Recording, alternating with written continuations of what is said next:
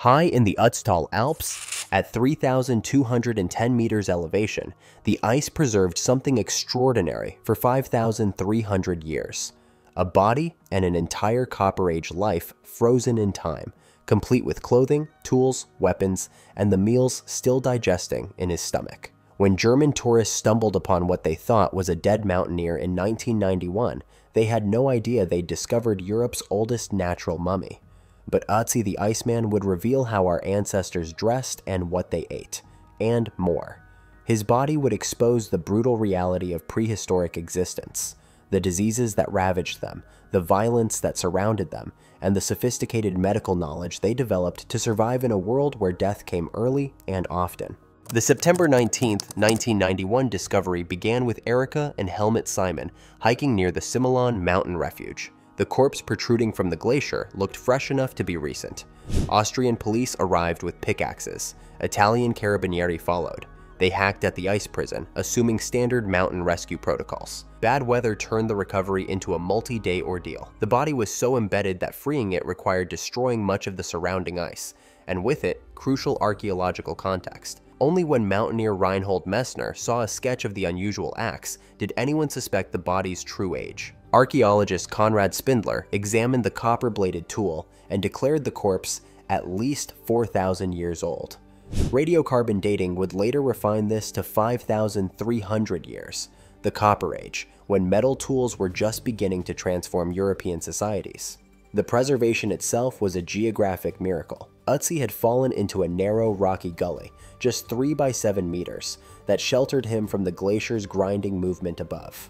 A warm foehn wind had partially desiccated the corpse immediately after death. Then snow fell, and freezing ice encased everything, creating what scientists call a wet mummy, different from Egyptian mummies dried by desert heat, or bog bodies preserved by acidic peat. Scientists rushed the frozen corpse to a cold cell mimicking glacier conditions. Decomposition had already begun during the chaotic recovery, every hour at above freezing temperatures destroyed irreplaceable evidence.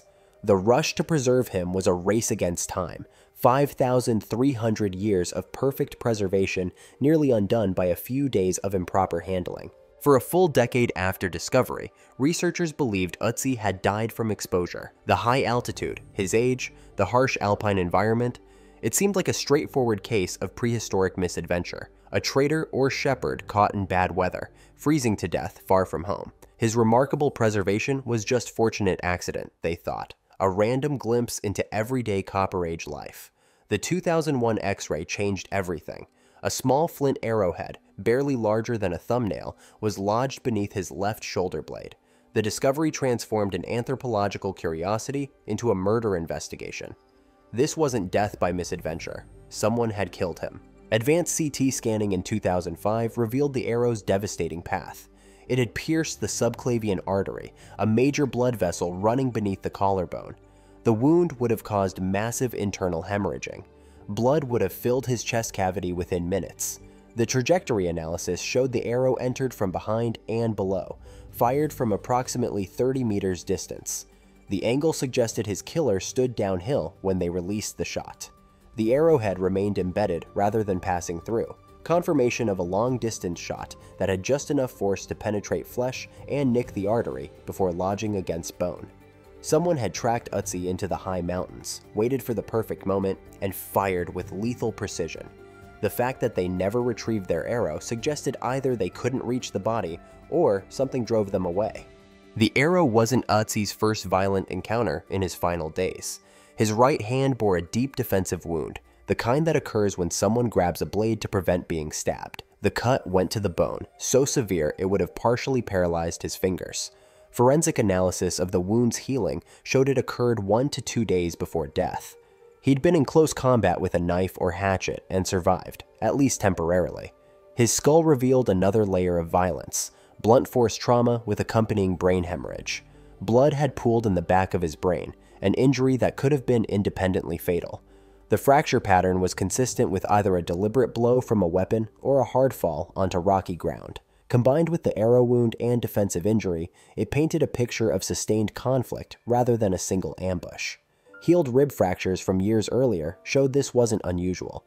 The bones had mended completely, indicating injuries sustained long before his death. For Copper Age Europeans, violence was common and woven into the fabric of existence.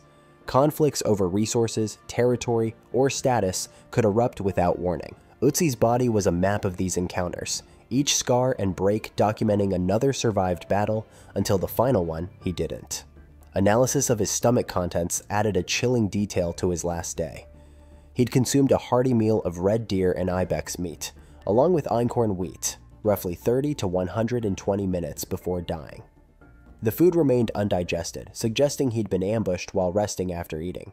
He wasn't fleeing when the arrow struck. He was taking a break, perhaps feeling safe at that extreme altitude when death found him. At approximately 46 years old, Ötzi was elderly by Copper Age standards. Life expectancy in prehistoric Europe rarely exceeded 35 years. Those who survived childhood diseases, accidents, and violence still faced the slow degradation of their bodies. Ötzi's skeleton revealed extensive wear, osteochondrosis in his spine, spondylosis in his lumbar region, significant arthritis in his knees and ankles. Every movement would have involved pain. The steep alpine terrain he traversed in his final days must have been excruciating even before the violence began. The most remarkable medical discovery came from DNA analysis of his hip bone tissue. Scientists found Borrelia burgdorferi, the bacteria causing Lyme disease. This made Ötzi the oldest documented case in human history. Without antibiotics, the infection would have progressed through predictable stages initial rash and fever, then joint pain and swelling, eventually neurological symptoms including facial paralysis, memory problems, and heart irregularities. The disease was slowly destroying his nervous system from within. His genome revealed additional health burdens. Despite his physically demanding lifestyle, isotope analysis showed he regularly traveled 60 kilometers from his home valley, he carried genetic markers for cardiovascular disease. His arteries were likely already showing signs of atherosclerosis, the hardening that leads to heart attacks and strokes. He was lactose intolerant in an era when dairy farming was spreading across Europe, limiting his dietary options. The 2023 genetic analysis also confirmed complete male pattern baldness, overturning earlier reconstructions that showed him with long hair. Parasitological examination found whipworm eggs in his colon, intestinal parasites that would have caused chronic abdominal pain and diarrhea. Combined with Lyme disease, arthritis, and cardiovascular issues, Ötzi's body was failing on multiple fronts. The mountains that killed him might have seemed like escape from an increasingly unbearable existence. Even without the arrow, disease would have claimed him within a few years at most. 61 tattoos covered Ötzi's weathered skin, created by rubbing charcoal into small incisions. These weren't random decorations or tribal identifiers. The tattoos formed a precise map of his pain, clustered exactly where his joints showed the most degeneration. Groups of parallel lines marked his lower back where his spine was deteriorating. More lines crossed his arthritic knees and ankles. Short perpendicular strokes targeted his painful wrists. The correlation between tattoo placement and diagnosed conditions was too exact for coincidence. Someone, perhaps Ötzi himself, more likely a specialized healer, understood his body's pain points with remarkable precision. The technique resembles acupuncture meridians documented in Chinese medicine, though Ötzi's tattoos predate the earliest known Chinese examples by 2,000 years. This suggests parallel development of therapeutic skin stimulation across ancient cultures, or perhaps knowledge networks we haven't yet discovered. His medical supplies confirm sophisticated pharmaceutical understanding, he carried two types of bracket fungus, Fomes fomentarius for starting fires, and Piptoporus betulinus, which has antibiotic and antiparasitic properties. His last meals included bracken fern, toxic if consumed in large quantities, but used in small doses to treat intestinal parasites. It drew on empirical knowledge developed through generations of observation and did not rely on superstition. One tattoo cluster near his chest didn't correspond to any detected ailment, challenging the purely therapeutic theory. Perhaps it treated a soft tissue condition that left no skeletal evidence, heart problems from his cardiovascular disease, or respiratory issues from repeated lung infections. Or this single tattoo might have been decorative, a personal mark amid the medical map. The ambiguity reminds us that even the best preserved prehistoric body can't answer every question about how our ancestors understood their own suffering.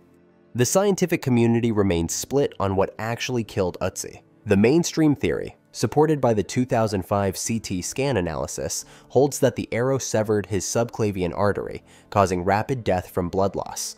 The undigested food, the apparent ambush, the body position, everything points to sudden, violent death within minutes of being shot.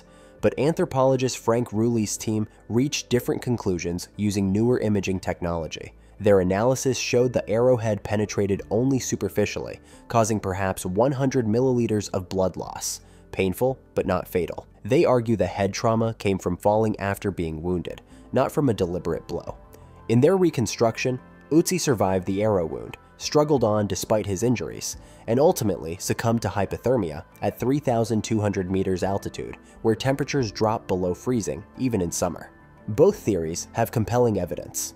The arterial damage is visible in some scans, but not others, possibly due to different imaging angles or decomposition artifacts. The head wound's cause, weapon, or fall can't be definitively determined from fracture patterns alone. The undigested meal fits either scenario, sudden death preventing digestion, or extreme cold shutting down digestive processes as the body conserved energy for survival. This scientific disagreement, three decades after discovery, illustrates a fundamental challenge in studying ancient remains. We can see the injuries, but not the sequence. We can measure the wounds, but not the time between them. Even with the best preserved prehistoric body ever found, certainty remains elusive. Ötzi died violently, that much is clear. Whether violence or environment delivered the final blow may never be resolved. The 2012 genetic analysis seemed definitive. An international team sequenced Ötzi's genome and announced he descended from Pontic-Caspian steppe populations. Museums commissioned new reconstructions, showing light skin and flowing brown hair. Scientific papers were published. Documentaries were filmed. The genetic history of Europe seemed clearer with Ötzi as a data point. Eleven years later, everything changed. A new team discovered the original sample was contaminated with modern DNA, possibly from researchers who'd handled the body. The clean 2023 analysis revealed completely different ancestry. Ötzi descended almost entirely from Anatolian farmers who'd migrated to Europe generations earlier, with virtually no steppe ancestry. His skin was dark, not light. He was completely bald on top, not merely balding. Every reconstruction was wrong. Every genetic conclusion overturned. This dramatic reversal exposed how fragile our understanding of the past remains. The 2012 team used the best available technology and followed standard protocols. They worked with contaminated samples no one realized were compromised. Isotope analysis of his teeth and bones proved more reliable, but still required careful interpretation. Strontium and oxygen isotopes in his tooth enamel formed during childhood, matched valleys south of where he died. His bones, constantly remodeling throughout adulthood, showed he spent his later years within 60 kilometers of his childhood home. He wasn't a long-distance trader crossing the Alps, but a local who knew these mountains intimately. Yet even these chemical signatures depend on assumptions about ancient water sources and dietary patterns that could be mistaken. Pollen analysis added temporal precision, but raised new questions. Hornbeam pollen in his gut indicated he traveled through lower altitude forests hours before death. Hop hornbeam pollen showed passage through middle elevations. Pine and spruce pollen marked his final ascent above the tree line. This botanical clock revealed he died in late spring or early summer when these plants were flowering. But why was he making this dangerous journey at the worst possible time, when snow still blocked passes and avalanches threatened every slope? Every element that preserved Ötzi was a consequence of violence.